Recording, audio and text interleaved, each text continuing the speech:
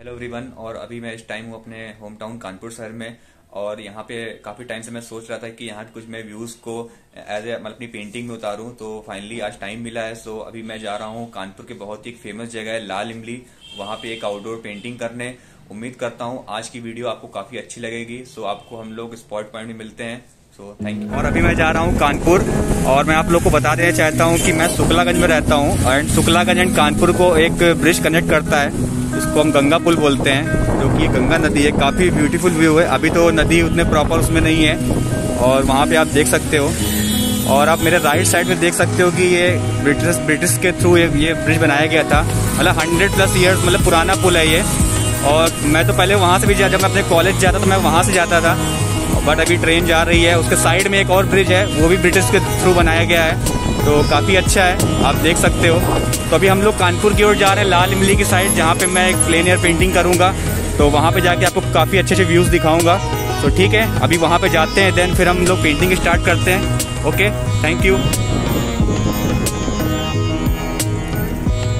so finally हम लोग लाल इमली पहुँच गए हैं। और अपना मैं सेटअप रेडी कर रहा हूँ पेंटिंग करने के लिए और आप व्यूज़ देख सकते हो यहाँ का काफ़ी अच्छा ब्यूटीफुल व्यू है और बहुत अच्छी लाइट आ रही है और आज का वेदर भी काफ़ी अच्छा है तो काम करने मज़ा आएगा। तो ठीक है फिर पेंटिंग स्टार्ट करते हैं। बाकी तो फिर धीरे आगे चीज़ें मैं बताता रहूँगा, आपको एक्सप्लेन करता रहूँगा। फाइनली सेटअप रेडी हो गया है पेंटिंग करने के लिए और आप देख सकते हो। और धूप तो काफ़ी तेज़ है बट कोई नहीं। काम करने में जो मज़ा है वो धूप एंड सर्दी तो उसके आगे मैटर नहीं करती। तो ठीक है, फिर पेंटिंग स्टार्ट करते हैं हम लोग।